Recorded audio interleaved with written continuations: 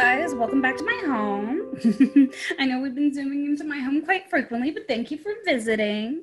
So, if you have not watched this week's video on Jacob Lawrence, you're going to want to do that now. It is so, so, so important to learn the history of this artist to understand the importance of his work. So, if you have not watched this week's video, then please do it now.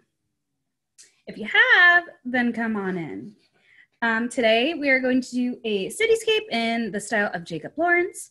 Um, like in this week's video, Jacob Lawrence um, moved to Harlem during the Great Migration. A lot of African Americans were moving to New York City to live a much more free and better life.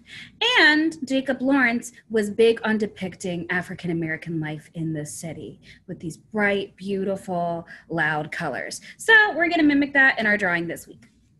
So get yourself a nice clean sheet of paper. I'm going to hold it in landscape, otherwise known as microwave. I always say microwave, it makes it easier for you guys.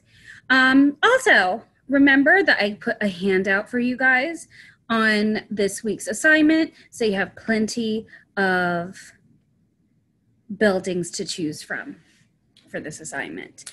So, of course, I always draw in marker so you can see, be, see better on the camera, but you don't have to use what you have at home. So, boys and girls, when I am making my buildings, I like to have my buildings to be kind of a mix in terms of height. It makes the image look more visually appealing. It makes people want to look at it more when there's a difference of, of height in my buildings. So I'm looking at my handout for this week and I'm looking for buildings that are short, buildings that are tall, um, buildings that maybe have a point to them up top. I want to just mix it up. I want it to look different with every single building that I work on. If we're going to overlap our buildings, which that's a cool trick to do. I might not all the way finish my building yet just yet because I might want to put a building just a little bit in front of it like so. Cities are very busy. They have all sorts of buildings interacting with one another. And of course they need windows. I probably won't color all my windows yellow because not everybody's awake during our nighttime cityscape.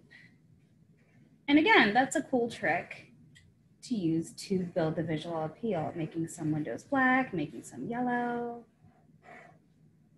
A lot of cool tricks. So from there, let's see, we have some overlap going over here. Let's go ahead and make a another building with a really cool shape on it. Let's do this one. And I'm looking at the same handout that was provided to you this week. If you guys want to make your own buildings, you can. Um, I just figured that handout would be good to boost your creative thought. And for this one, maybe I want a building to come out from behind the this one building right here. So I might make a shorter building coming out from behind it and draw on those windows as well.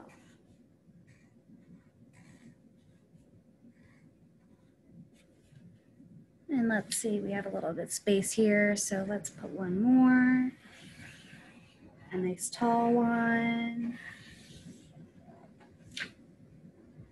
Mm -hmm.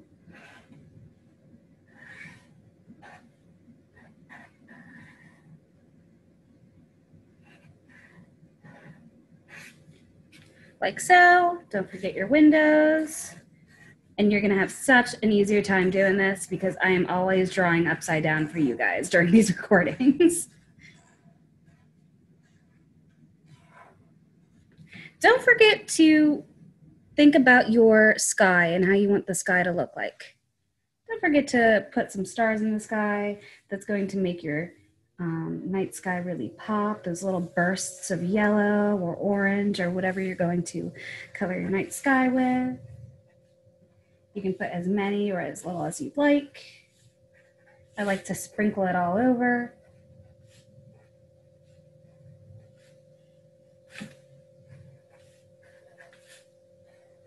And then in the corner, one of the corners, I'll put a nice bright moon.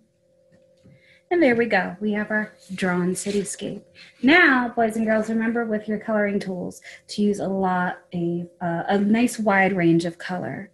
Jacob Lawrence's uh, artwork was very bright. It had a lot of loud color. So make sure you put a nice arrangement of different colors all over your paper. Make sure you fill in your night sky so that those yellow stars really pop off the page. Really just put your all into it because really you're going to get the best work if you fill it in with color, and do your best drawing. All right, guys. So I will see you next week. I can't wait to see how these Jacob Lawrence cityscapes come out, and I will see you then. Bye.